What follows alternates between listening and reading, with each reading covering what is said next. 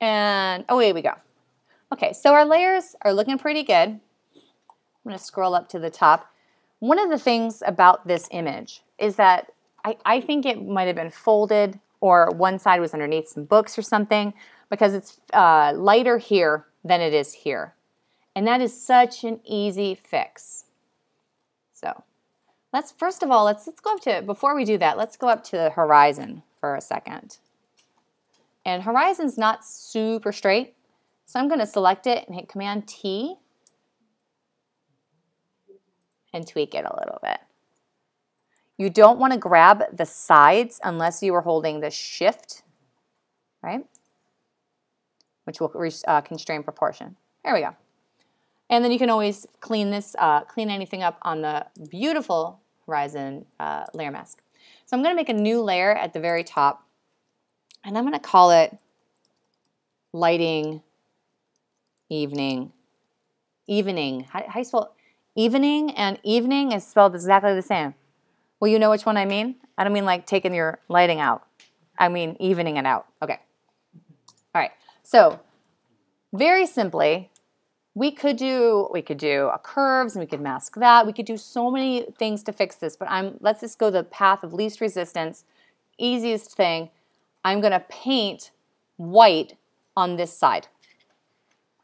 So the paint is 100% opacity. I have my layer, blank layer, nothing in it, and I'm just going to paint white. And then I'm going to take the layer blending mode from normal to soft light. Oops. And you'll see right now we can see it. We can really see it, okay? So we're gonna take the opacity of the layer down.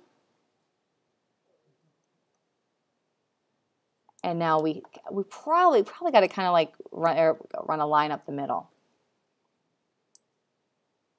So this is without it, and this is with it. It kind of, it evens it out, right? It takes away um, uh, some of the like faded, fatigued look. Kind of evens it out. With the, um, with dodging, you can also try overlay, which has a little more contrast. So you may like that. This is A, soft light, and B, overlay A little more contrast. So you can do that. Um, with burning, however, it has to be set on soft light. Okay, so now this is looking pretty good. Um, the one thing that I recommend is if you are going to try to get this out of the sky to cover it with another clean part. Because I have not had a lot of luck retouching it where it has not looked retouched, right? So at this point, because we've evened out the lighting and it's looking pretty good, we can make um, a selection. And the selection at this point, I'm gonna make another stamp visible because I wanna have this little fringe, this levels, this black and white, the horizon, and the dodging all on one layer. I'm going to make another stamp visible. You only have to make stamp visibles if you are going to do something like make a selection in which the selection lives on several layers. Does that make sense? So in this case, I wanted to make a selection of a clean part here. But this clean part here lives on, has um, black and white on it and dodging, um, dodging on it. So when you have more than one, you're trying to affect more than one layer, that's when you want to make the stamp visible.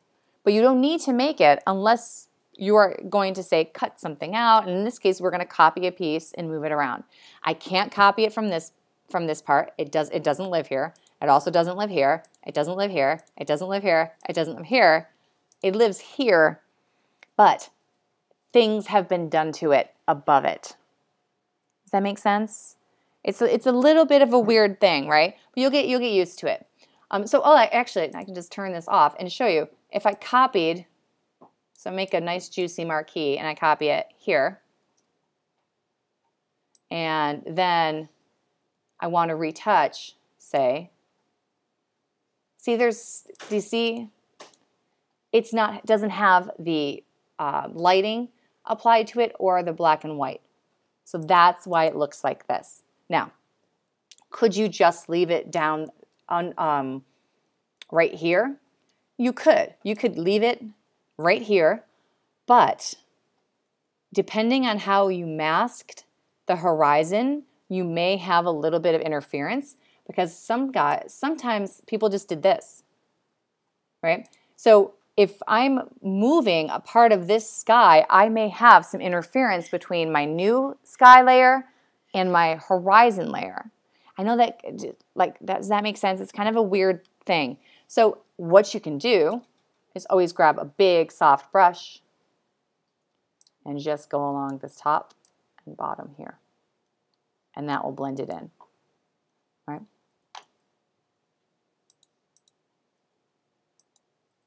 So when I, I want to use this clean piece, but if you haven't edited the horizon layer, the tops and bottoms, you'll have an overlap and it will be noticeable. Does that make sense? Raise your hand if it doesn't make sense because I can totally just keep going. I'm gonna I'm gonna show you.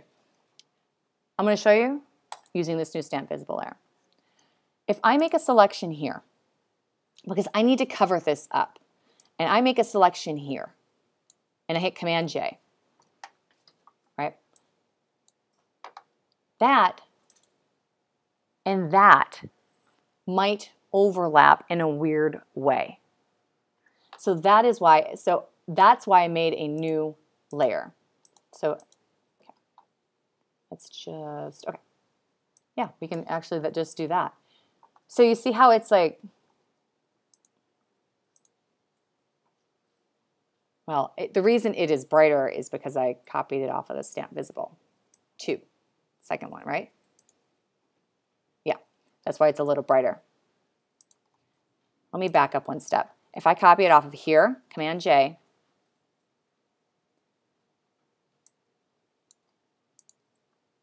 these two layers the horizon and the sky above the horizon, if they're not edited in a way where they don't overlap or cause repetition, which is a sure sign of retouching, that's why I made another stamp visible. So I could pull the information off of one layer at the very top with all of the new edits done to it. Does that make a little better sense? So do you have to do it this way? Absolutely not. I mean, might this be a problem? It might or it might not be. I just don't mind making layers. One of the big problems used to be that you're worried about size, right? You're like, oh, I don't want like a gigantic size. Well, this file is only 12 megapixels and 105.2 megapixels with layers. That's nothing, right? Also, the fact that these computers don't that kind of sludge along and they can deal with bigger files, it gives us a little bit more freedom. So once you have up here, I'm going to go back, make a marquee, a big old chunky piece, and hit J to jump it to a new layer, and move it over. Now, because of the gradation of the sky, this is extremely finicky. And, and I have very limited success with it, but I'm going to show you what I do. So I grab the brush, you got to make sure that you get at least the bottom and the top.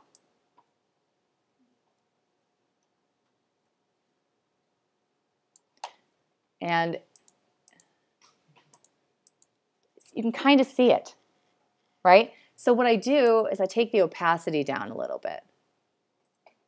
And then you might be like, well, you can kind of see the lines through it. Yeah, but it's not as bad. And remember when we started talking about like retouching versus restoring? And in this case, this is one of those situations where I'm masking it, kind of trying, you know, to just make it less visible because this is a it, you would think oh hard how hard can this be like i've retouched harder things this is really hard to retouch because of the tonality change right i've i have struggled with it um, so this is my solution this in the center is is also here, right? Looks kind of like uh, like a bit of marring, right? So you could maybe use a clipping mask on this to lighten it up. You could try. Or we drag this up a little bit and then we just clip it into the top. A, B. That worked pretty well. So that's another way that you can use a clipping mask to equalize your lighting, right? So if you have uneven lighting, chances are you can solve it with dodging and burning. And then if you're cutting and pasting and doing compositing like we're doing, clipping masks are a great way to even out that lighting and keep it consistent. That was levels. And you can use curves, but for simple kind of quick, dirty, dirty and easy ones, I usually use levels. Again, totally up to you. You have so many choices. This is just one way of approaching it. All right?